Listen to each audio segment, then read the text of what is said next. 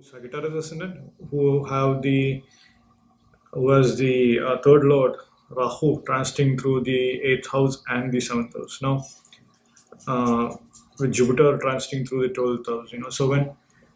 when Rahu Ketu is transiting over the second house and the eighth house, you know, the, these natives have been facing a lot of changes. Now, when the nodes are transiting through your lagna after March 7, that's when there can be a strong sense of uh, transformation that can come about. There's a big change in the way how you are actually looking at your own life.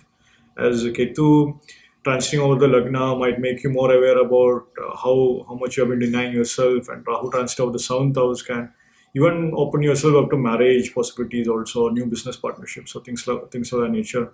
What I, what I would also say is that the third lord uh, Rahu transiting through the eighth house and seventh house, there might be there might be this sudden interest in short travel, sudden interest in public appearances, sudden interest in socializations, uh, you know, and all of this can happen in a very sudden manner for a Sagittarius ascendant because of uh, because of Rahu's involvement, and um, because thing is that they might be they might find a lot of um, um, peace of mind through uh, meditation or spiritual practices, or even contemplating upon books, as Jupiter is in twelfth house from Sagittarius ascendant. Uh, so perhaps they might be rediscovering the old books which they used to read, or they might be coming across the old notes or old letters to the teachers you have returned. And then suddenly that is inspiring yourself. You know, maybe you might actually pick up an old diary which you actually wrote, and then uh, even though you don't recognize the person who you were who wrote out, who wrote those words, but then suddenly it's inspiring you in one way or the other. You know, things like that can happen. And also, um, there might be interest in learning maybe a new um, language or also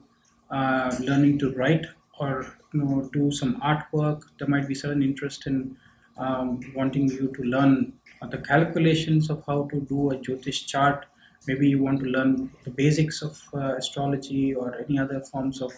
um, you know esoteric uh, information. Also what i uh, what i feel is this transit is going to be uh, a very redefining one for the Sagittarius ascendant or a Sagittarius moon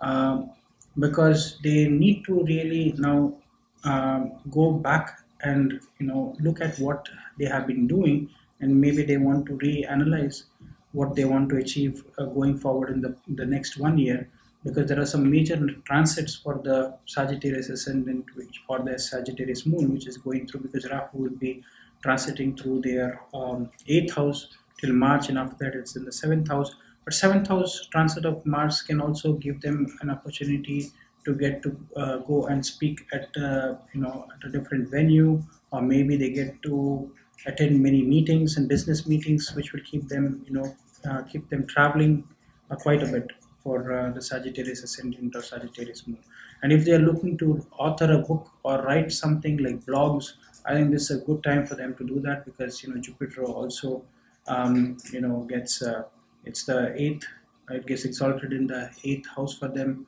where Rahu is going to transit and then Rahu will be transiting into the seventh from uh, the Sagittarius in ascendant